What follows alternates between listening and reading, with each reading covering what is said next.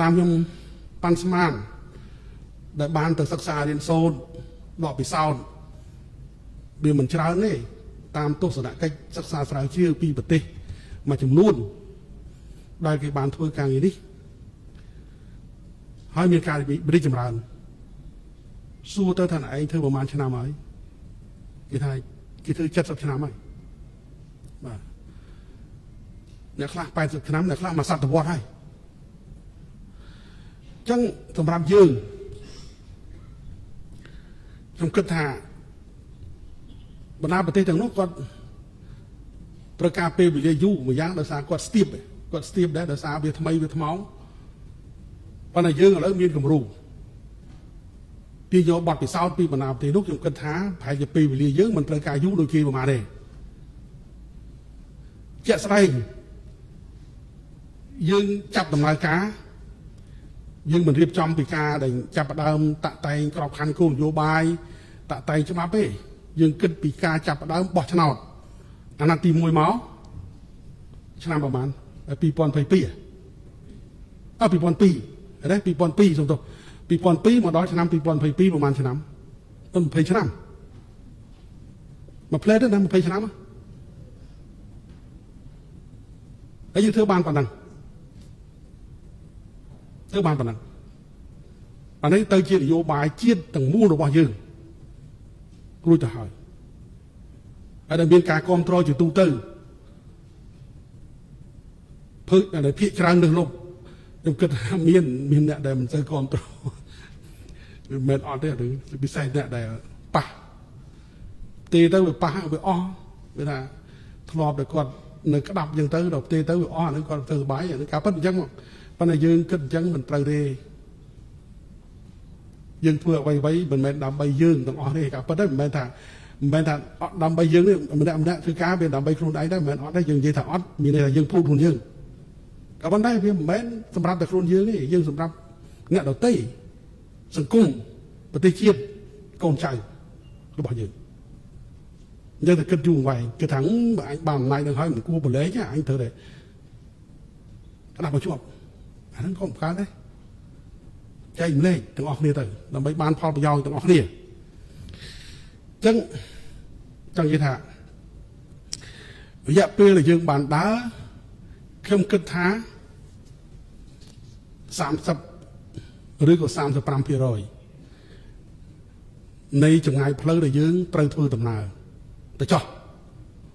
50%វាដូចជាលឿនពេកវាដូចជាខ្លីពេក អញ្ចឹងវាអាចប៉ុណ្ណឹងថាយើងត្រូវការតែ60ឆ្នាំឬក៏30ឆ្នាំបើ30ឆ្នាំ20ឆ្នាំក៏វាមិនទាន់បាន50%ដែរប៉ុន្តែកម្មវិធីជាដំណាក់កាលទី2នេះវាបញ្ហាប្រមូលផ្ដុំនៅបញ្ហាប្រមាណនឹងមែនប៉ុន្តែសតតែជាបញ្ហាដែលក្តៅឃើញទេបបួលគ្នាពីដើមអត់អីទេអូខេបាទហើយភាពប៉ុន្តែមកជាក់ស្ដែងមែនទេដល់រឿងក្តៅមែនទេ ជាក់ស្ដែងមែនទេគឺថាទេរីរ៉េនេះបញ្ហានេះហើយដែលខ្ញុំចង់និយាយថាវានៅសល់កិច្ចការប្រមូលផ្ដុំទៅប្រមាណនឹងមែនក៏ប៉ុន្តែវាក្តៅចឹងហើយសូមទាំងអស់គ្នាដាក់ចិត្តដាក់កាយឲ្យត្រជាក់តិចទៅដើម្បីនាំគ្នាធ្វើដើម្បីប្រទេសជាតិដើម្បីប្រជាពលរដ្ឋយើងហើយយើងអត់តន់បរាជ័យនៅកន្លែងណាមួយទេចង់និយាយថាអ្វីអ្វីដែលយើងបានសម្រេចចិត្តដែលយើងបានផ្ទេររួចមកហើយ ដូចជាមិនទាន់បរាជ័យដែលថាมันអាចកែបានទេមិនមែនថាគ្មានកំហុសទេមិនមែនថាវាល្អអត់ចោះទេក៏ប៉ុន្តែវាមិនដល់ថ្នាក់ថាវាបរាជ័យមិនអាចទៅមុខបានធ្វើដកថយវាអត់មានទេអានឹងមិនចឹងទេវាអត់មានទេនេះជាបញ្ហាហើយខ្ញុំយកការនេះក៏សូមថ្លែងអំណរគុណនឹងកោតសរសើរដែរចំពោះមន្ត្រីជំនាញគ្រប់ផ្នែកពាក់ព័ន្ធសូមស្ថាប័នពាក់ព័ន្ធ ហើយក៏ដូចជាឯកឧត្តមថ្នាក់ដឹកនាំជារដ្ឋមន្ត្រីរដ្ឋលេខាធិការដែលជាអ្នកមានសិទ្ធិធ្វើសេចក្តីសម្រេចចិត្តខាងនយោបាយហើយដែលបានចូលរួមអនុវត្តការងារនេះយ៉ាងសកម្មក្នុងរយៈពេលកន្លងមកនេះអញ្ចឹងខ្ញុំសង្ឃឹមថាទៅមុខទៀតយើងនឹងបន្តអនុវត្តតទៅទៀតពាក់ព័ន្ធនឹងការអនុវត្តកំណែតម្រង់វិមជ្ឈការវិធម្មការខ្ញុំសូមស្នើអង្គសន្និបាត ផ្ដោតការយកចិត្តទុកដាក់លើបញ្ហាមួយចំនួនដូចខាងក្រោមអំពីការផ្ទេរមុខងារដោយរដ្ឋបាលថ្នាក់ក្រោមជាតិអគ្គនាយកដ្ឋានរដ្ឋបាលត្រូវសហការជាមួយអគ្គនាយកដ្ឋាននានានៃក្រសួងមហាផ្ទៃលេខាធិការដ្ឋានកោជបនិងក្រសួងស្ថាប័នពាក់ព័ន្ធបន្តគ្រប់គ្រងនិងតាមដានត្រួតពិនិត្យលើការអនុវត្តមុខងារនានាដែលបានផ្ទេរកន្លងមកជាពិសេសមុខងារក្នុងវិស័យអប់រំសុខាភិបាល សង្គមគិច្ចការគ្រប់គ្រងសម្រាម និងសំណល់រឹងទីជុំជន ដើម្បីធានាឲ្យការអនុវត្តមុខងារទាំងនេះដំណើរការប្រកបដោយប្រសិទ្ធភាព និងមាននិរន្តរភាពជាមួយនេះរដ្ឋបាលថ្នាក់ក្រោមជាតិនីមួយៗក៏បីបន្តពង្រឹងការគ្រប់គ្រង ការចាត់ចែងនិងការអនុវត្តមុខងារដែលបានផ្ទេរប្រកបដោយភាពម្ចាស់ការ និងស្មារតីទទួលខុសត្រូវខ្ពស់ព្រមទាំងមានភាពច្នៃប្រឌិត ដើម្បីធានាសម្រេចបាននៅការអនុវត្តមុខងារទាំងនោះស្របតាមស្តង់ដារបបរមានៃការផ្ដល់សេវា និងគោលនយោបាយតាមវិស័យនីមួយៗពាក់ព័ន្ធនឹងមុខងារក្នុងវិស័យអប់រំនិងវិស័យសុខាភិបាលត្រូវរួមគ្នាសិក្សា និងវិតម្លៃ អំពីលទ្ធភាពនៃការពង្រីកការផ្ទេរមុខងារអប់រំទៅឲ្យរដ្ឋបាលក្រុងស្រុកផ្សេងទៀតក្រៅពីក្រុងស្រុក ក្នុងខេត្តបាត់ដំបងព្រមទាំងលទ្ធភាពនៃការធ្វើប្រតិភូកម្មមុខងារមួយចំនួន ក្នុងវិស័យសុខាភិបាល ពីរដ្ឋបាលខេត្តទៅឲ្យរដ្ឋបាលក្រុងស្រុកដើម្បីធានាដល់ការបង្ខិត ការធ្វើសេចក្តីសម្រេចចិត្ត លើការផ្ដល់សេវាទាំងនោះឲ្យគៀកកិតជាមួយប្រជាពលរដ្ឋនិងបង្កើនការចូលរួមការទទួលខុសត្រូវរបស់រដ្ឋបាលមូលដ្ឋាន ក្នុងការលើកកម្ពស់សុខុមាលភាពជូនប្រជាពលរដ្ឋឲ្យកាន់តែប្រសើរឡើងនៅនេះមានចំណុច2ចំណុចទី1តកតងនឹងការដាក់ឲ្យអនុវត្តសាកល្បងនៅការគ្រប់គ្រង បឋមសិក្សានិងមត្តេយក្នុងក្រៅប្រព័ន្ធឲ្យរដ្ឋបាល ក្រុងស្រុកនៃខេត្តបាត់ដំបងទាំងអស់ដោយសារកូវីដយើងមានភាពដូចថាមានការអត់អួលខ្លះប៉ុន្តែយើងបានឯកភាពគ្នាថានៅពាក់កណ្ដាលឆ្នាំ2022នេះយើងនឹងរួមគ្នាធ្វើការបូកសរុបដកពិសោធន៍ដើម្បីឈានទៅធ្វើការសម្រេចចិត្តថ្មី បន្ថែមទៀតហើយសម្រេចចិត្តថ្មីនេះសូមបញ្ជាក់ឲ្យថាអត់មានដកថយទេបាទមិនថាធ្វើហើយថាបែឥឡូវលេងធ្វើដកវិញអត់ទេគឺត្រូវតែបន្តពង្រីកគាត់ថាពង្រីកប្រហែលខែទៀតឬក៏ពង្រីកទូទាំងប្រទេស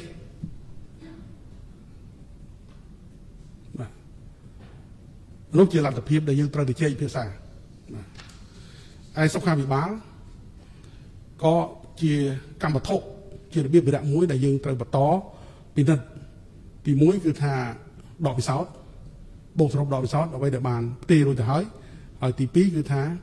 នឹងពិនិត្យលទ្ធភាពដើម្បីផ្ទេរទៅក្រុងស្រុកបន្ថែមទៀតប៉ុន្តែបញ្ហានេះក៏យើងត្រូវយកចិត្តទុកដាក់ដើម្បីនឹងចង់និយាយថាយើងប្រយ័ត្នប្រុងប្រយ័ត្នខ្ពស់ដើម្បីធានាឲ្យមាននិរន្តរភាពឬមួយក៏ការកំណែតម្រង់នេះវាមិន ថាវាធានាឲ្យមានភាពជោគជ័យចំពោះមុខការងារគ្រប់គ្រងសម្រាម និងសំណល់រឹងទីជុំជន ដែលបានបកគលឲ្យរដ្ឋបាលរាជធានីនិងរដ្ឋបាលក្រុងស្រុកក៏ចាំបាច់ត្រូវបន្តពង្រឹងការអនុវត្តបន្ថែមទៀតទាំងការពង្រឹងយន្តការគ្រប់គ្រងបច្ចេកទេសនិងការតាមដានត្រួតពិនិត្យពីថ្នាក់ជាតិនិងការពង្រឹងសមត្ថភាពរបស់រដ្ឋបាលក្រុង ស្រុកក្នុងការផ្តល់សេវាគ្រប់គ្រងសម្រាមនិងសំណល់រឹងក្នុងដែនសមត្ថកិច្ចរបស់ខ្លួនឲ្យកាន់តែមានប្រសិទ្ធភាពអគ្គនាយកដ្ឋានរដ្ឋបាលទៅបន្តសហការជាមួយក្រសួងបរិស្ថាននិងក្រសួងសេដ្ឋកិច្ចនិងហិរញ្ញវត្ថុក្នុងការពិនិត្យនិងកែលម្អឯកសារណែនាំបច្ចេកទេសផ្ដល់ការបណ្ដុះបណ្ដាលដល់រដ្ឋបាលក្រុងស្រុក ព្រមទាំងពិនិត្យលទ្ធភាពក្នុងការផ្ទេរថវិកាពីថ្នាក់ជាតិឬអនុញ្ញាតឲ្យរដ្ឋបាលក្រុងស្រុកប្រើប្រាស់ថវិកាពីប្រភពចំណូលនៅមូលដ្ឋានរបស់ខ្លួន សម្រាប់ការរៀបចំយន្តការផ្ដល់សេវាប្រមូល និងដឹកជញ្ជូនសម្រាម និងសំណល់រឹងដោយរដ្ឋបាលក្រុងស្រុកសម័យនីមួយៗដោយផ្ទាល់ក្នុងករណីដែលមិនអាចរកអ្នកវិនិយោគឯកជនបាន ទន្ទឹមនេះ ស្នើក្រសួងបរិស្ថាន បន្តសហការគ្រប់គ្រងដល់រដ្ឋបាលខេត្តក្នុងការរកទីតាំងឲ្យបានសមស្របសម្រាប់រៀបចំទីលានចាក់សម្រាមដែលមានលក្ខណៈស្តង់ដារអនាម័យបរិស្ថាន ហើយដែលអាចប្រើប្រាស់បានជាលក្ខណៈអន្តរស្រុករដ្ឋបាលក្នុងស្រុកសម័យនីមួយៗត្រូវខិតខំគ្រប់គ្រងចាត់ចែងអនុវត្តមុខងារគ្រប់គ្រងសម្រាម និងសំណល់រឿងទីជុំជន ឲ្យបានពេញលេញនិងមានប្រសិទ្ធភាពស្របតាមខ្លឹមសារនៃអនុក្រឹត្យលេខ113ចំពោះការផ្ដល់សេវាតាមយន្តការច្រកចេញចូលតែមួយអគ្គនាយកដ្ឋានរដ្ឋបាលត្រូវបន្តសហការជាមួយក្រសួងស្ថាប័នពាក់ព័ន្ធក្នុងការពិនិត្យកែសម្រួលបែបបទនិងនីតិវិធីនៃការផ្ដល់សេវាដែលនៅមានលក្ខណៈស្មុគស្មាញឲ្យកាន់តែសាមញ្ញនិងងាយស្រួលជាពិសេសការផ្ដល់សេវាដែលមានលក្ខណៈជាកញ្ចប់ ដែលតម្រូវឲ្យអ្នកស្នើសុំសេវាត្រូវបំពេញបែបបទច្រើននៅតាមអង្គភាពផ្សេងផ្សេងដើម្បីបង្កលក្ខណៈងាយស្រួលដល់ប្រជាពលរដ្ឋមកទទួលសេវា តែមួយកន្លែង នៅកាឡៃច្រកចេញចូលតែមួយទន្ទឹមនេះត្រូវបង្កើនការគ្រប់គ្រងនិងតាមដានត្រួតពិនិត្យដំណើរការនៃការផ្លាស់នៃការផ្ដល់សេវា នៅរដ្ឋបាលថ្នាក់ក្រោមជាតិ ដើម្បីធានាឲ្យការផ្ដល់សេវាទទួលបានការជឿទុកចិត្តនិងការគ្រប់គ្រងពីប្រជាពលរដ្ឋចំណុចនេះគឺខ្ញុំស្នើយកចិត្តទុកដាក់បន្ថែមមែនតើគឺច្រកចេញចូលទីមួយនេះយើងមានរួចអស់ហើយនៅតាមរាជធានីខេត្តហើយក៏ដូចជានៅតាមស្រុកក៏ប៉ុន្តែនៅតាមស្រុកក្រុងមួយចំនួនប្រហែលជាស្រុកជាពិសេសមិនទាន់អាចដំណើរការបានដោយសារខ្វះ ទីកន្លែងធ្វើការចឹងហើយសូមឲ្យខេត្តគ្រប់ត្រក៏ប៉ុន្តែស្រុកខ្លួនឯងត្រូវដោះស្រាយពីព្រោះថាយើងដឹងទាំងអស់គ្នាហើយគឺដោយសារយើងអនុវត្តកំណែតម្រង់នេះឃុំក៏យើងបោះឆ្នោតជ្រើសតាំងអ្នកដឹកនាំឃុំស្រុកក៏យើងបោះឆ្នោតជ្រើសតាំងអ្នកដឹកនាំស្រុកបើទោះបីតែប្រព័ន្ធបោះឆ្នោតវាខុសគ្នាប៉ុន្តែស្របតាម គោលការណ៍នៃទីជាតៃដែរហើយខេត្តក៏បោះឆ្នោតអ្នកដឹកនាំខេត្តលើកលែងតែគណៈអភិបាលគណៈអភិបាលស្រុកគណៈអភិបាលខេត្តប៉ុន្តែយើងក៏បានធ្វើប្រតិភូកម្មឲ្យខេត្តដើម្បីជួយពិនិត្យនេតការគុណភាពទៅឲ្យស្រុកទៅដល់ស្រុកនៅក្រុងរបស់ស្រុកស្រុកក្រុងហើយនឹងឃុំបាទសង្កាត់អញ្ចឹង សូមឲ្យជួយពិនិត្យបញ្ហានេះផងដែរតកតងនឹងការរៀបចំឲ្យដំណើរការច្រកចេញចូលទីមួយនៅតាមក្រុងស្រុកដែលនៅសេសសល់នេះហើយក្រសួងមហាផ្ទៃក៏នឹងបន្តខិតខំដើម្បីនឹងជួយជ្រោមជ្រែងឲ្យក្រុងស្រុកដែលនៅមិនទាន់ដំណើរការនេះឲ្យដំណើរការផងដែរហើយទន្ទឹមនេះក៏មិនមែនតែក្រសួងមហាផ្ទៃទេមែនតើគឺថាក្រសួងស្ថាប័នពាក់ព័ន្ធទាំងអស់ដែលមានការពាក់ព័ន្ធពីព្រោះថាអឺ កាលណាក្រសួងណា បានធ្វើប្រតិភូកម្មឬក៏ធ្វើការផ្ទេរអំណាចទៅឲ្យរដ្ឋបាលក្រុងស្រុកទាំងនោះក៏មានការពាក់ព័ន្ធដែរអានេះត្រូវបំពាក់ឧបករណ៍សម្ភារៈឬក៏មន្ត្រីធ្វើការនៅកន្លែងនោះដើម្បីផ្ដល់សេវាជូនប្រជាពលរដ្ឋនេះយើងនឹងពិនិត្យបញ្ហានេះតទៅទៀតព្រោះកន្លងទៅខ្ញុំក៏បានធ្វើដំណើរ ទៅពិនិត្យកន្លែងមួយចំនួនដូចជានៅគៀនស្វាយឃើញដំណើរការបានល្អដែរនៅស្រុកគៀនស្វាយហើយថ្មីថ្មីនេះនៅខេត្តបាត់ដំបងបាទគេដំណើរការបានល្អដែរប៉ុន្តែនៅស្រុកក្រុងមួយចំនួនទៀតតាមដឹងគឺមិនទាន់បានដំណើរការល្អទេនៅរប៉ាត់រប៉ាយអញ្ចឹងនិយាយអញ្ចឹងដោយមូលហេតុថាខ្វះកន្លែងធ្វើការអញ្ចឹងសូមឲ្យពិនិត្យបញ្ហានេះ អំពីការលើកកម្ពស់សមត្ថភាពហិរញ្ញវត្ថុរបស់រដ្ឋបាលថ្នាក់ក្រោមជាតិលេខាធិការឋានកោជបនិងអគ្គនាយកដ្ឋានរដ្ឋបាលត្រូវបន្តសហការជាមួយក្រសួងសេដ្ឋកិច្ចនិងហិរញ្ញវត្ថុនិងក្រសួងស្ថាប័នពាក់ព័ន្ធនានាដើម្បីពិនិត្យមើលឡើងវិញនៅប្រព័ន្ធគ្រប់គ្រងនិងបែងចែកធនធានហិរញ្ញវត្ថុឲ្យរដ្ឋបាលថ្នាក់ក្រោមជាតិទាំងក្នុងក្របខ័ណ្ឌនៃការផ្ទេរធនធាន មានភ្ជាប់លក្ខខណ្ឌនិងគ្មានភ្ជាប់លក្ខខណ្ឌឲ្យស្របតាមច្បាប់រៀបចំអង្គការ តាមស្ថានភាពជាក់ស្ដែងនៃសេដ្ឋកិច្ចសង្គមនាពេលបច្ចុប្បន្ន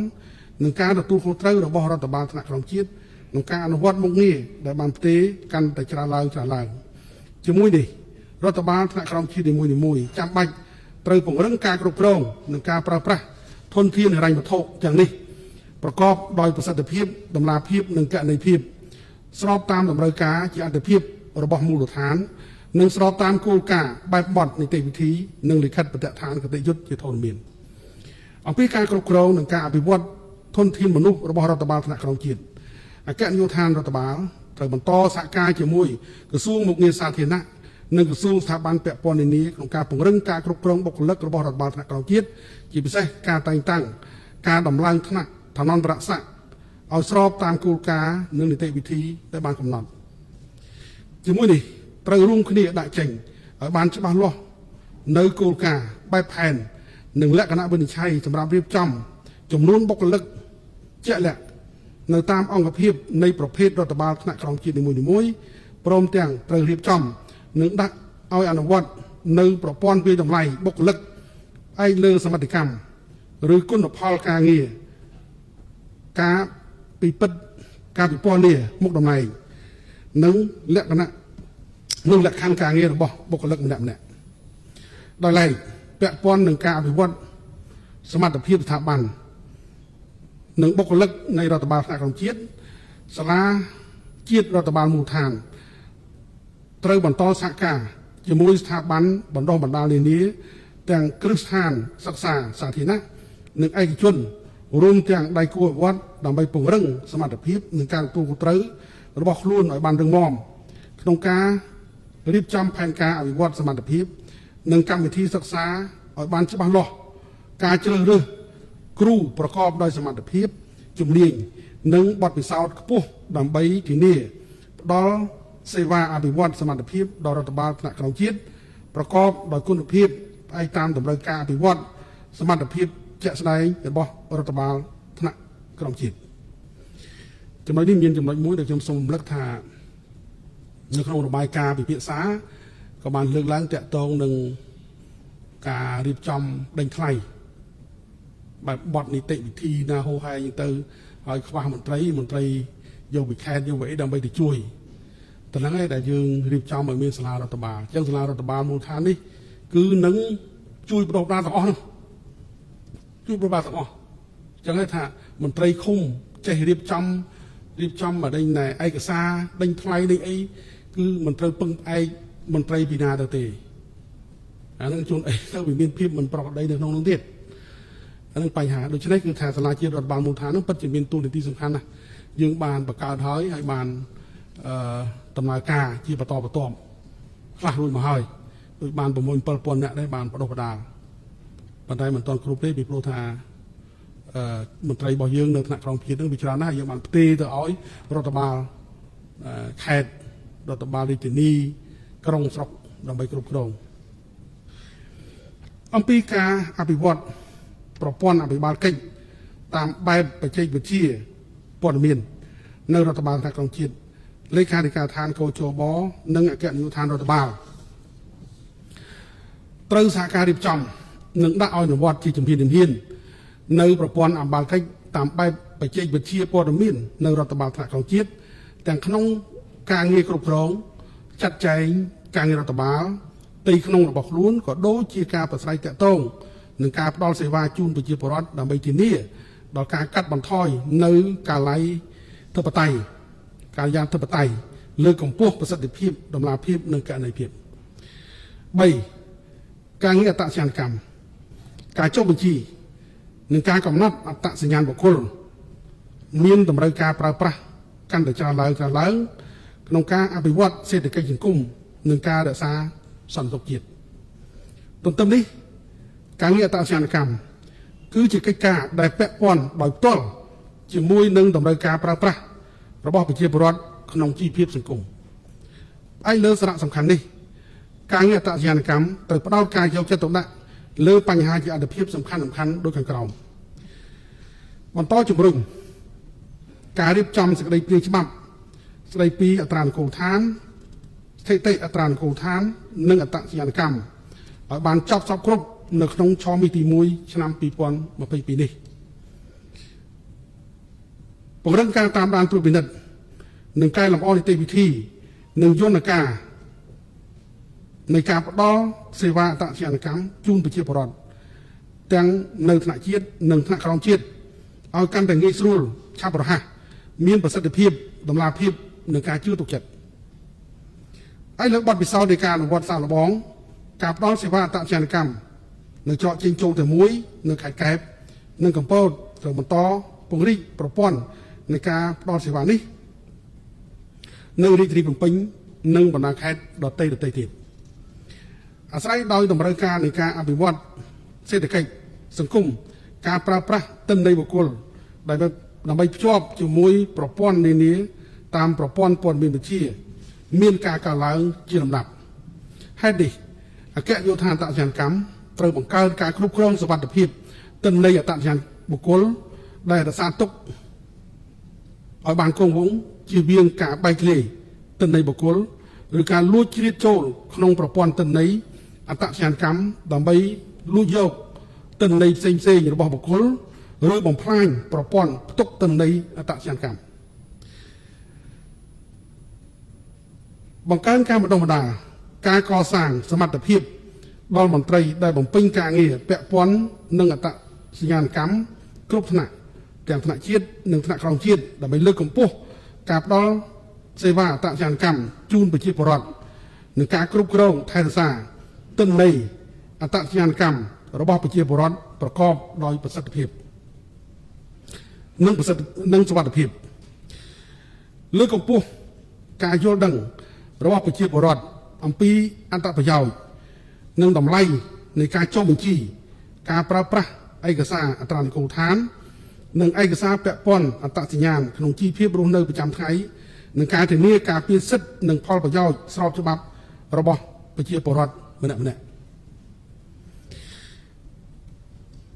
4ការងារអន្តរប្រវេសន៍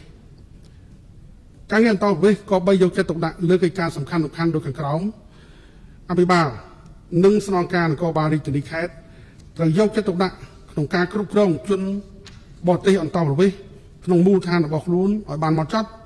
ប្រកបដោយស្មារតីទទួលខុសត្រូវខ្ពស់ដោយមិនត្រូវទុកឲ្យមានជនបរទេសលួចលាក់ស្នាក់នៅមិនស្របច្បាប់ក្នុងមូលដ្ឋានរបស់ខ្លួននោះឡើយចំពោះជនបរទេសអន្តរប្រវេសន៍ដែលបានទទួលស្គាល់តាមផ្លូវច្បាប់រួចហើយត្រូវធ្វើការគ្រប់គ្រងឲ្យបានហ្មត់ចត់ដើម្បីជំរុញអនុវត្តឲ្យបានត្រឹមត្រូវ តាមការកំណត់នៃច្បាប់ជាពិសេសយកចិត្តទុកដាក់ស្ដាប់ឲ្យបាននិងជំរុញជនដែលមិនមកបន្តសុពលភាពបានស្នាក់នៅនិងជនដែលដល់អាយុត្រូវធ្វើបានស្នាក់នៅ ស្របតាមការកំណត់ ក្នុងករណីរឹងរូសត្រូវមានវិធានការឲ្យបានមើងម៉ាត់តាមនីតិវិធីច្បាប់នេះជាបញ្ហាមួយ ដែលយើងត្រូវតែយកចិត្តទុកដាក់បាទវាបញ្ហាដំបូងគឺថា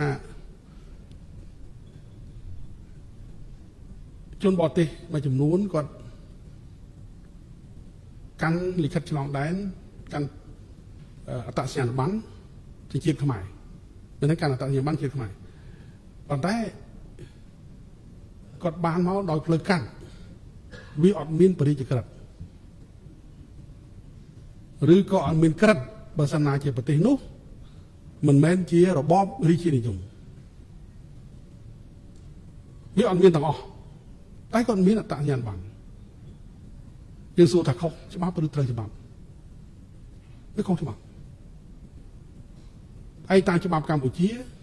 យើងត្រូវដោះស្រាយបញ្ហានេះ